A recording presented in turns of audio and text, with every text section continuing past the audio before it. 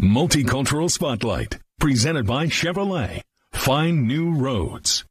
The U.S. Supreme Court could use a case from Indianapolis to make drastic changes to Medicaid rights. Opponents tell News 8's multicultural reporter Katiera Winfrey that a vote in favor would hurt people with disabilities and other low income communities.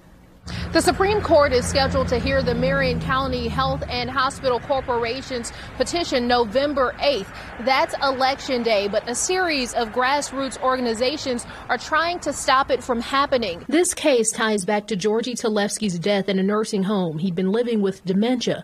His family claimed a county run facility didn't provide adequate care, resulting in his death. Definitely getting a lot more uh, press and a lot more attention right now because the Supreme Court announced announced uh, that it will be heard or it's scheduled to be heard. Health and Hospital argues they took necessary steps to restrain and medicate to keep Talevski and staff safe.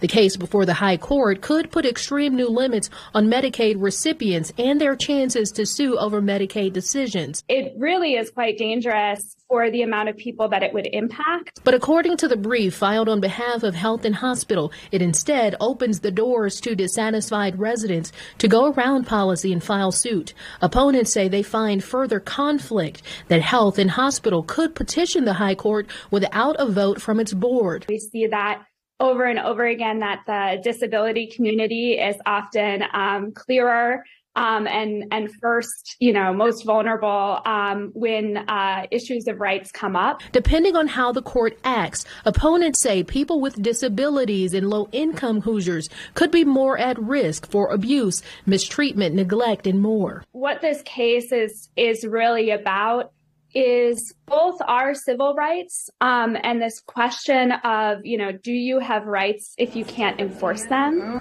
Next Tuesday, several grassroots organizations they plan to attend Health and Hospitals board meeting, hoping to encourage them to withdraw the petition. Reporting in Indianapolis, Katiera Winfrey, Wish TV, WishTV.com, and follow us on Facebook.